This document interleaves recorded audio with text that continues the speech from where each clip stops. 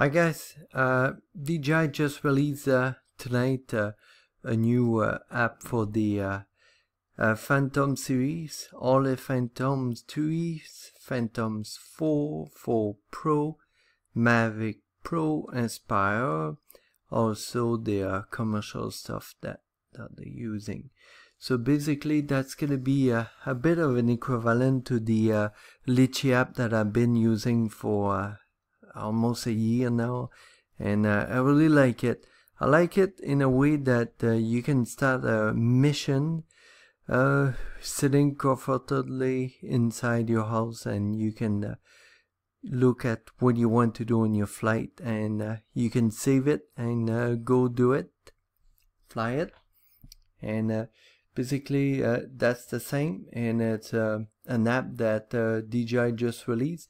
It's only available for iPad. So if you're using a Mavic Pro with your iPhone, unfortunately it won't work for an iPhone. You're gonna have to use an iPad. So in that case, in my case, pretty easy because I have an iPad, so I'm gonna use that. And uh, that's what the uh, app look like.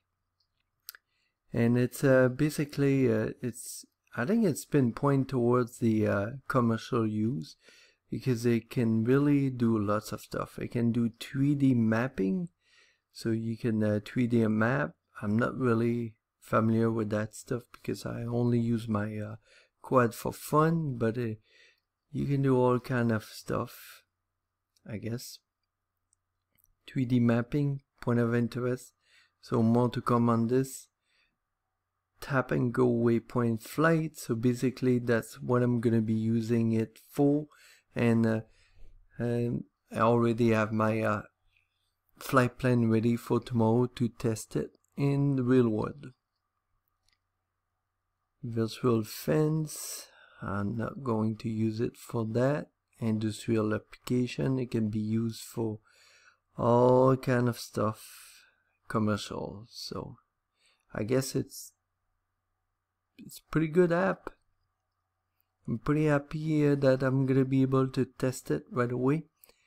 And uh, it's gonna be it's available right now for uh, uh app uh, Apple Apple Store. So you basically go there and you download the app. And yeah so now let's go into the iPad. And I'm gonna show you how to start a mission.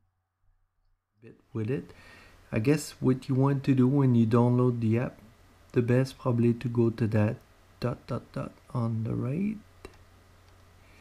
And uh, um, measurement unit I'm using a metric kilometers an hour. You can use imperial uh, miles per hour or uh, metric meter per second. I just find kilometers per hour is good option for me.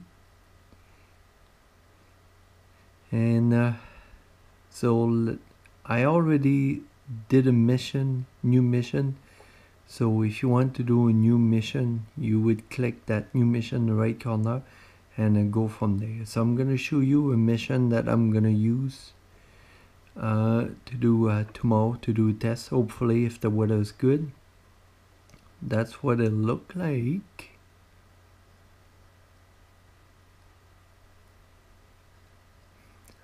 Edit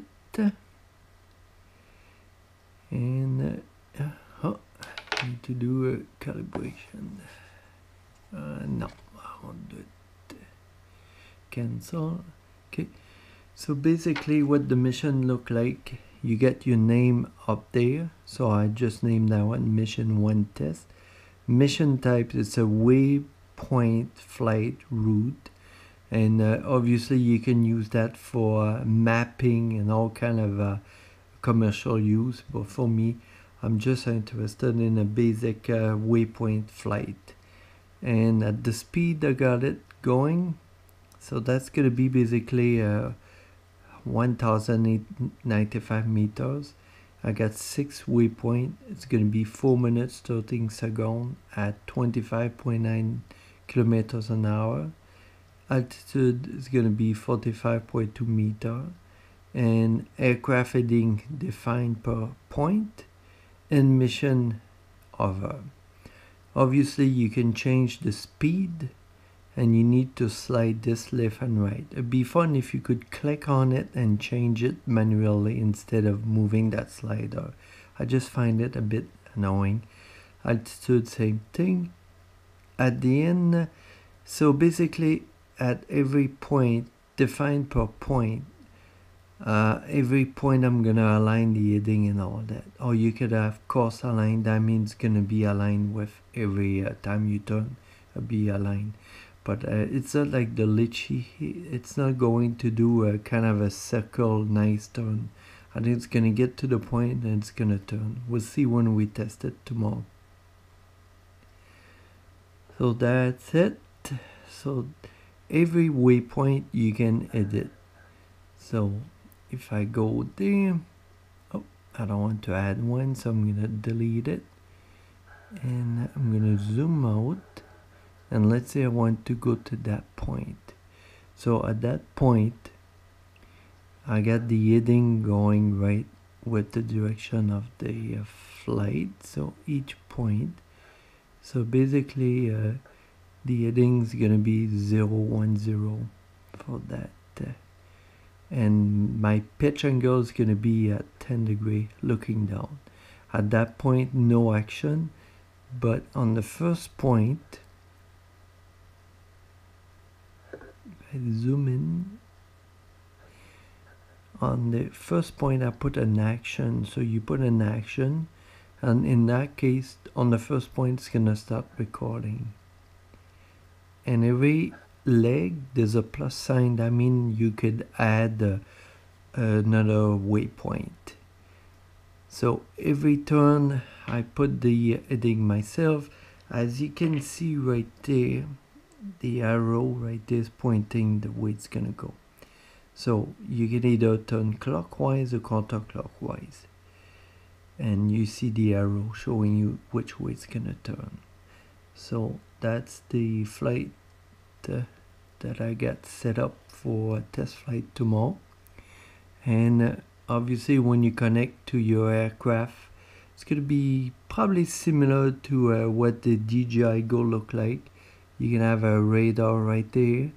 Your speed latitude and longitude altitude and probably a screen with what the camera is looking. So in a nutshell that's what it look like and uh, it's looking like it's gonna be really interesting to uh, uh, use that I'm gonna save it so I'll get that mission ready to go for tomorrow so I hope that uh, quick introduction to the app uh, is going to help you a bit to get going. And basically, uh, if you have a Mavic it won't work with an iPhone, you're going to have to use an iPad for this. So uh, keep in touch. I'm to post more video as I do the uh, test flight, uh, hopefully tomorrow if the weather is good. So enjoy and uh, fly safe.